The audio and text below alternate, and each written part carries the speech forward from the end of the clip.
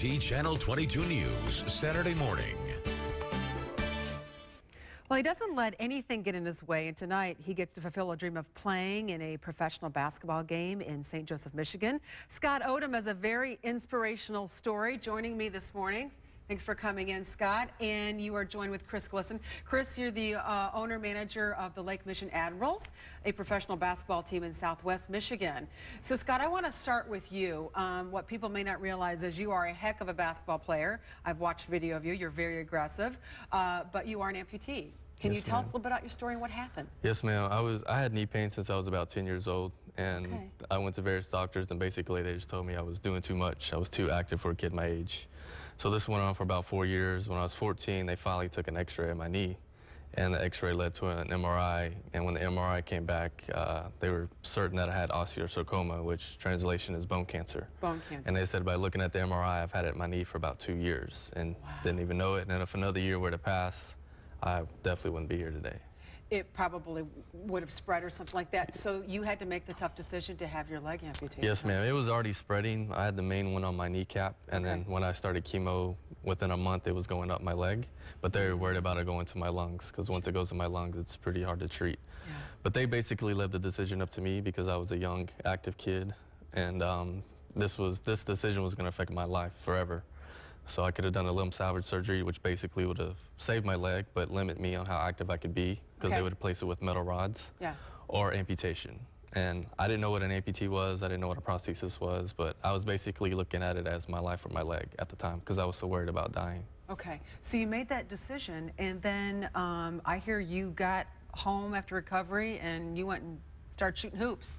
I right? did, yeah. I, I was in a wheelchair, obviously, because I was still bandaged up, but Yes, I think I went home two days after my surgery, and I wanted my parents to wheel me out in my little therapy place, I call it, to where my basketball hoop was, and I was just wheeling around, shooting around, because to me, that's I feel at home. And you actually started a special group, a team called Amp One. Yes, ma'am. Uh, the only way I could play I could play basketball as an amputee is wheelchair basketball, and I had to train myself to walk. I had to train myself to run.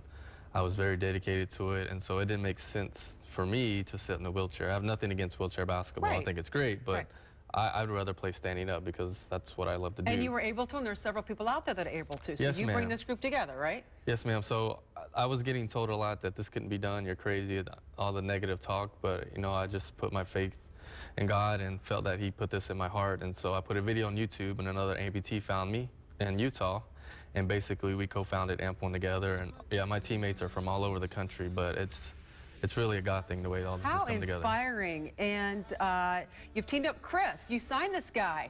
He's yes. going to play on your team tonight, Lake Michigan Ad Admirals. Tell me about how this connection came about, and you're you're making Scott's dream come true. You know, I, I the connection started with my coach first, and then and then it led into our relationship and. And now, you know, against the Bloomington Flex, which, you know, they're the two-time defending champions, uh, he'll be going against them tonight. And, and you know, I, I don't put him second to none. I, he is the real deal. Yeah. He can shoot from the outside. And, and when I heard his heart and his uh, inspirational story and, and the dream of being, you know, a professional basketball player, and I'm like, well, why not now? Wow. Let's do it. Let's make it happen. And, and so here he is. And we've been going to schools and, and getting the message out. We did a cancer benefit the other night, and I got to see him play, you know, on another level. And, and he shoots the lights out. Right?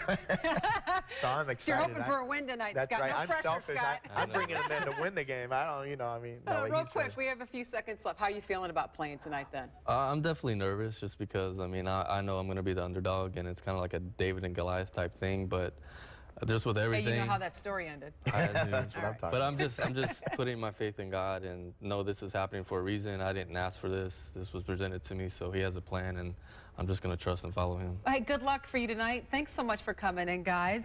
Uh, the Admirals take on Bloomington Flex uh, with Scott Odom playing his first ever professional game. You can catch the action 6 o'clock tonight at Lake Michigan Catholic High School in St. Joseph. Thanks a lot again for coming in.